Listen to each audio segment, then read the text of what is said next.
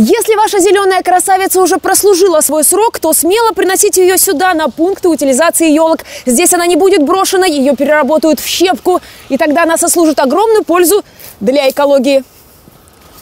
К примеру, эти ели могут стать удобрением для новых деревьев или фанерой для производства детских площадок. Приносить сюда можно любое хвойное дерево, которое стояло дома в Новый год. На территории Одинцовского округа организовано 10 пунктов по сбору ели. Эти пункты расположены равномерно по всей территории. На них собираются елки, которые были на Новый год гражданам поставлены у себя в жилищах.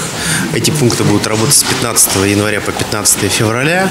И после того, как елочка будет гражданину доставлен на сборный пункт, они будут собраны и отвезены на переработку. Все собранные ели доставят в центры по измельчению. Пункты сбора уже заработали. В Одинцове их два, на улицах Бирюзова 8 и Комсомольская 3. Акция по утилизации елок быстро набирает популярность среди одинцовцев. Жителям эта идея близка, понятна, и они стараются максимально экологично обращаться со своими новогодними украшениями. Причем как в прошлом году, так и в этом площадки сбора елок всегда заполнены. Эта программа губернатора Московской области реализуется второй год Министерством ЖКХ одновременно с внедрением новой системы раздельного сбора мусора. В общем, вашей елочке подарят вторую жизнь, и она принесет не только радость, но и много пользы уже после праздника. Влада Шишова, Станислав Трифонов, Денис Харламов, телекомпания «Одинцова».